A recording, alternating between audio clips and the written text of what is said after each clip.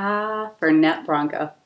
Being a long-time San Franciscan, it's hard for it not to be one of my all-time favorite Amaros. Why? Well, over a third of the Fernet in the US is consumed in the Bay Area, and if you work in the hospitality or alcohol business at all, you become a pretty regular imbiber of it. So much so that it's commonly known as the bartender's handshake. For those of you not familiar with Fernet Branca, it's an Italian Amaro, often used as a digestive. It's a blend of 23 herbs, botanicals, and roots.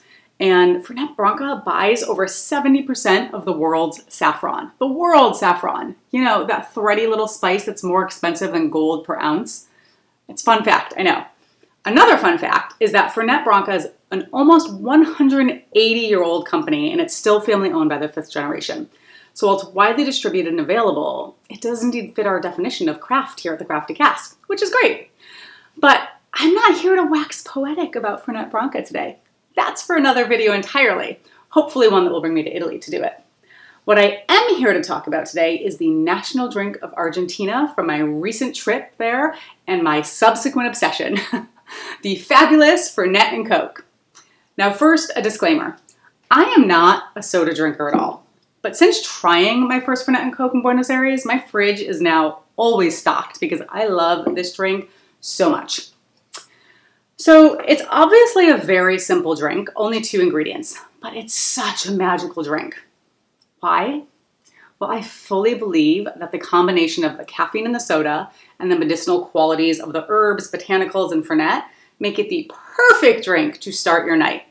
It wakes you up after whatever long, busy day you had, and it preps your stomach for the future food and drinks ahead.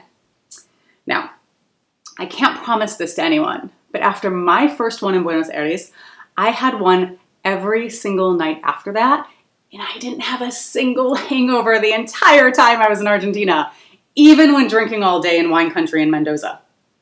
I credit the Fernet and Cokes, because let's be honest, I certainly was not restraining myself on the booze. So, how do we make this magical drink? While simple, the ratios are important, and this is my favorite. So first, you need a tall glass. Next, you want to pour, I say 40% Fernet. I know it feels like a lot, but maybe because I'm not a soda drinker, I just prefer more Fernet to Coke. Then I do about halfway with ice.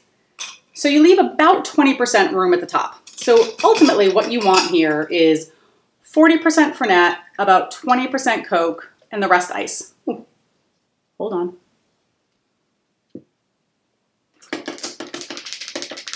Now, I'm not being precise with my measurements here. I know that. Honestly, it feels kind of silly to measure such a simple drink. And, you know, if you don't have this perfect glass size, your ratios might, or the, the measurements would change a little bit, but the ratios won't. So I think that 40, 20 kind of rule is where it's at, for me anyways.